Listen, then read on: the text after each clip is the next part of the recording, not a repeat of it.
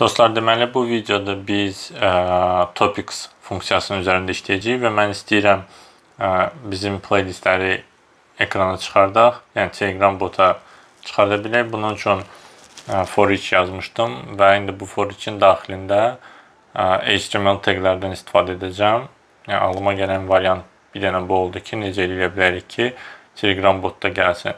Deməli for each-in daxilində biz ə, A təqindən istifadə edirik və ora verilənlər bazasından əldə etdiyimiz URL-ını ötürürük. Yəni playlistin linki olacaq. Ondan da əlavə biz onun adını qeyd edə bilərik ki, həmin adının üstünə basdıqda, yəni qəşəng görsənsin, adının üstünə basdıqda avtomatik hmm, keçsin bizim playlistlərə, yəni brauzerdə playlistləri açsın. Bunun üçün HTML tagdən istifadə etdim və burada nöqtə qoyub A təqini bağlamalıyıq. Slash A yazırıq. Nöqtə virgül yaddan çıxmasın. Hə, bir də ə, belə deyək də nöqtə php all yazmalıyıq ki, aşağıya düşsün. Yəni yanbayan olmasın bu yazdıqlarımız. Yuxarıdan bir dənə birinci ə, row probel, yəni boş bir şey qoyaq və sadəcə row ə, string verilənini yaradırıq ki, sonra onu ona əlavələr elə bilək. Və biz bunu ötürürük save funksiyasına. Keçək görək nə alındı.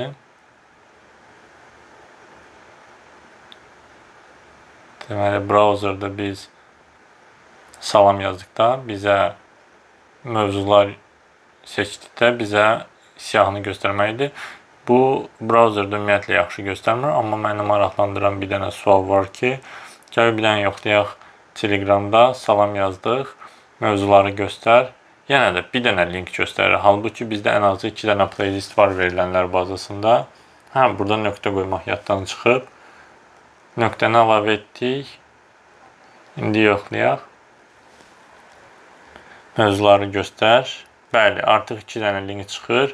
Sadəcə bu ə, e, gördüyünüz kimi HTML taqlar işləmir. HTML taqlar işləməsi üçün mən internetdə baxmışam. Əvvəlcədən yəni bundan məlumatım var. E, Botman Studio-nun özünün dokumentasiyasında bunu tapa bilərsiniz. Belə bir funksiya var. Bot send request.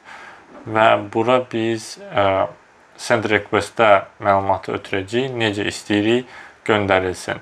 Və bura biz öz row-nu ötürürük birinci parametr olaraq, ikinci parametr olaraq ayarları ötürürük. Bu send request, send request e, belə deyək də, hətta birinci row-nu ötürmürük. Onu dəyişmək lazım deyən ki, e, birinci biz ötürürük e, gəlin bunu yazaq. Row-nu əslində biz text olaraq ötürürük.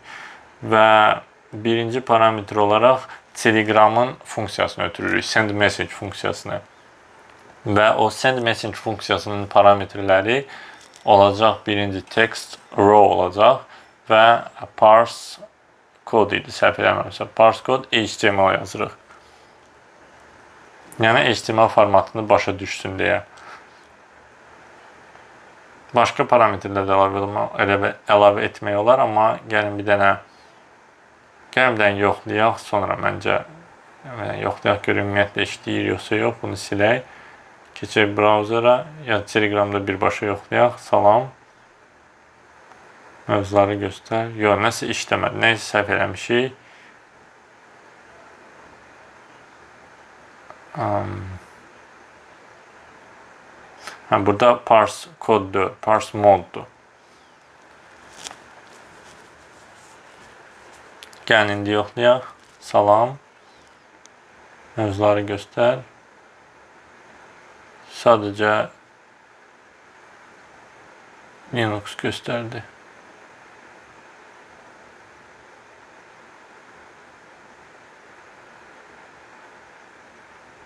Gəlin görək harda səhv eləmişik.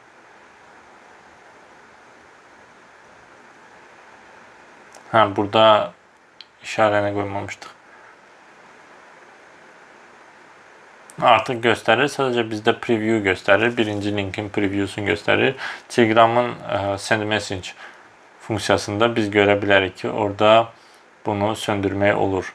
Disable web page preview onu true qoymalıyıq. Gəlin onu da əlavə edək. Disable web page preview bunu true yazaq. Və artıq bizdə normal göstərməlidir. Mövzuları göstər. 2 dənə playlisti göstərir və hərəsi link, yəni HTML tagin köməyi ilə linklə işləyir. Amma bir dənə problem var ki, bu bizdə artıq web browserdə işləmir. Bizim məqsədimiz Telegram bot yaratmaqdır deyə hələ ki buna fikir vermirik. Sadəcə Telegramda işlədiyindən ləzzət alırıq. Bu qədər baxdığınız üçün təşəkkür edirəm.